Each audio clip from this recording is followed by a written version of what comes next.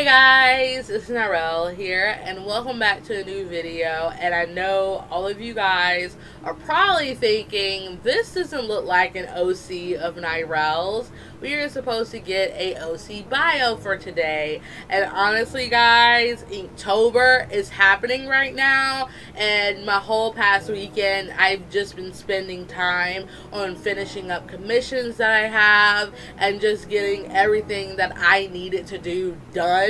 So I really didn't have enough time to sit down and record an OC bio for this week. So hopefully you forgive me and next week I will start them back up again. And I really do think this is kind of a sweet idea because you've been seeing nothing but OC bios for every Monday. And I know a lot of you guys are like, Narelle, that's fine. We don't care. But just treat this as a break that you guys kind of need and then next week it'll be started up again. So yes. So in this video I will be coloring the vocalist from the band Good On The Reel.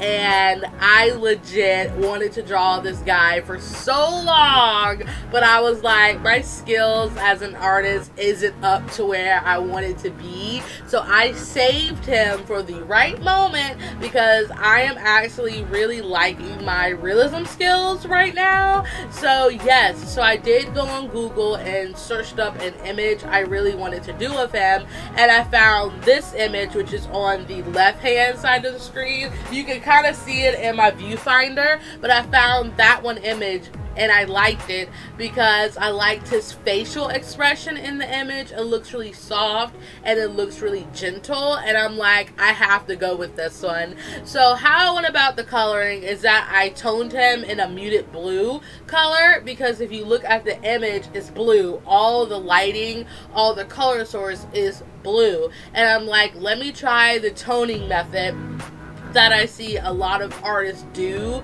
on their digital paintings and honestly I really like it.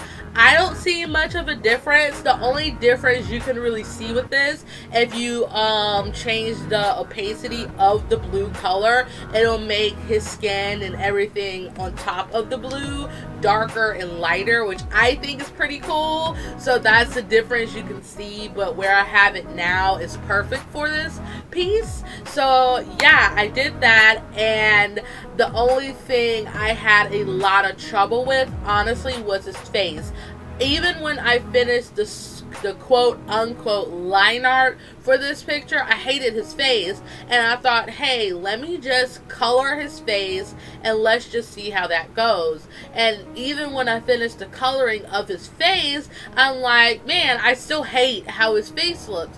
So you'll mainly see me change his mouth because his mouth on the image is very gentle and I'm like let me see if I can mock that. And I just could not get that to work for the life of me. So you will see a lot of changes to his mouth in this whole video but I did come to a compromise that I really liked and I think it kind of made the picture shine a little bit. So yeah so right now you're seeing me color his shirt and I am super happy for what I did with the shirt. So basically I erased all the lines I did for his shirt because his shirt is white. And if you see his white shirt has no guidelines. Like you see nothing. And I'm like you know what? Let me just painterly paint his shirt and I freaking love that I did that because I really feel like with line art, some lines are needed and some lines are not needed. So I really felt like the shirt lines really wasn't needed. So I really liked how I rendered the shirt and made the shirt look more like a white shirt if you kind of feel me so yes so now i'm doing a background and honestly this is honestly I don't know why I said that twice, but this is honestly one of my favorite mock backgrounds that I have done for any of my realistic pieces because with my realistic pieces I do not spend time on the backgrounds themselves because I am not here to do the background. I'm here to do the person. So I try to make the background look as real as possible and I freaking love this background.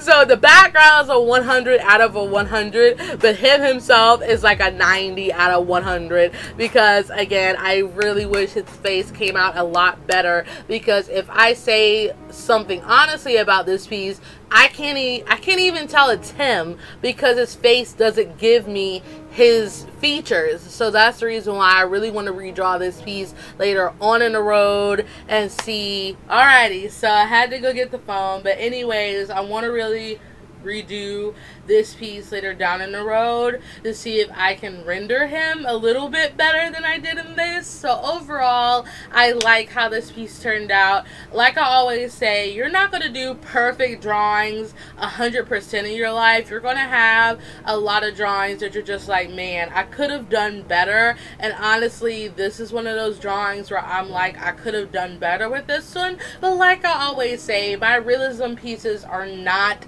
finished artworks.